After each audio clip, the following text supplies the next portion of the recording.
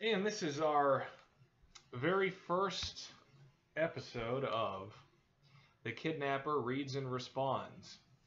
Um, this is going back here several months. I'm going to say uh, probably back to April. The message has been deleted out of my account, which means whoever sent it to me, he deleted his account. Um, basically, what happened is there was a guy who was going under the alias of Chris Hansen, the uh, Dateline to Catch a Predator guy. Um, and he sent me a message, a very genuine message, and he was very upset by. Well, first of all, he said he was a big DID fan and a big fan of mine and the work that I'm doing. And he wanted me to speak about this because, like I'd said in the video earlier today, I'm seen as a authoritative figure on this topic, and I reach a large audience. Um, so he wanted me to speak about. He, he was very upset, and he said the reason he created this Chris Hansen account was to call out perverts on YouTube who were going around to these channels, these challenge channels, you know, all these magicians and the challenges, and trying to get people, specifically children, uh, to make them custom fetish videos. And that is a something that I have seen a lot of. I really don't watch um, these challenge videos anymore. I have seen a few of them. Most of them are pretty stupid, and they only uh, you know show they show deceptive thumbnails to get people to click, and then the video is really crappy. Um, you know, you know I, the one that I made back in March of last year was decent. It was pretty good. People who saw the original version, but you know, most of these, you know, these are not damsel in distress videos, not even close, most of them.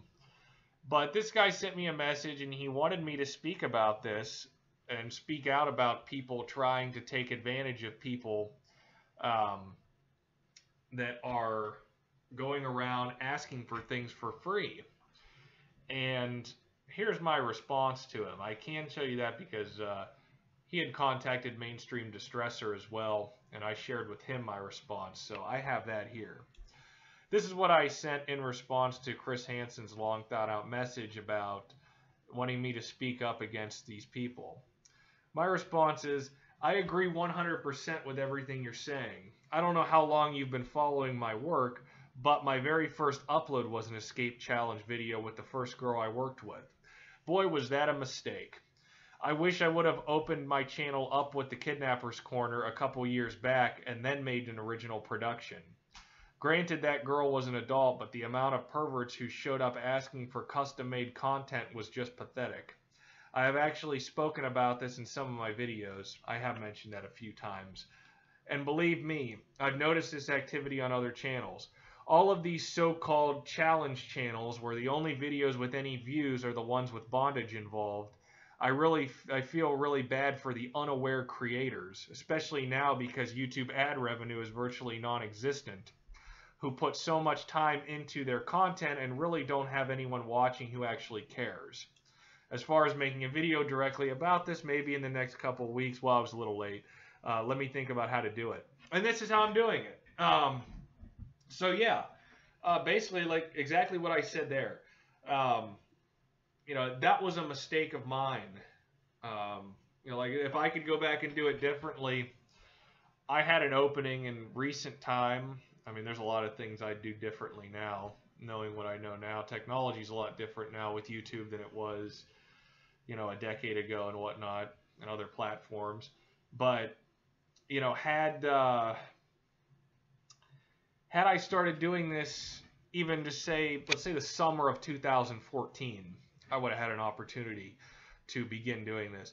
I wish that I would have opened up with the Kidnapper's Korner. I wish I'd have known Greek Damsels then and known all the tricks about YouTube and metadata and you know how to run a good channel back before way before the advertising boycott and things were going well and you know I wish I'd have got in, uh, got my fan base established with that, and then made the kidnap production and made it Patreon only, and then the ambush production and whatnot, and things could possibly be, you know, on a different level right now. Obviously, I'm a lot newer now than I would have been that way, but you know that's kind of my mistake. And as I told him in this video, uh, or in this response, I should say, I dealt with this. If you recall, when I told people that I wasn't going to keep putting the ambushed uh, production out, there were about 20 or 30 people who went off on me and cried like little babies, uh, probably because they were small children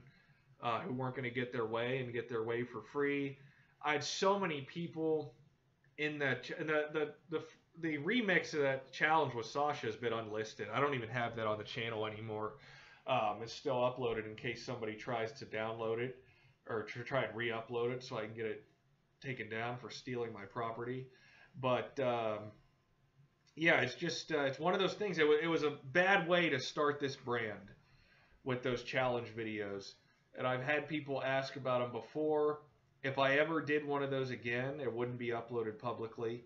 Uh, YouTube age restricted uh, the last one, uh, that remix. That's why I unlisted it basically. Not only that, because it, you know, it's pointless now, and uh, you know, even uh, even Snow Flashes. Uh, I had some people message me about that channel before. Even his most watched videos got age restricted with his hot friend the one on the trampoline, and it's because it could be dangerous for kids, as they thought mine was as well. So, yeah, but I, I see these people going around asking for stuff, people to do stuff for them. Uh, it makes you look really bad. If you're trying to get something for uh, your own personal pleasure for free off of these kids and these husband and wife couples, there's so many of these people that actually think that people are watching their channel because people are fans of them and they're not. Um, you look at their you look at their videos, you look at the views. The one that involves duct tape has 20 times, 30 times more views than all the other ones. I mean, it's pretty it's pretty obvious what's going on here. So, you know, don't be a creep, don't be cheap. You know, basically.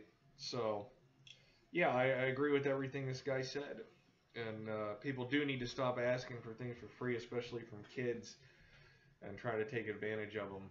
So it's a good thing he was doing that, but apparently closed his account.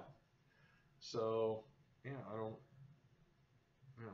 Well, maybe he'll see this and like that I finally did a video about it. But that's your first uh, kidnapper reads and responds. So, thanks, guys.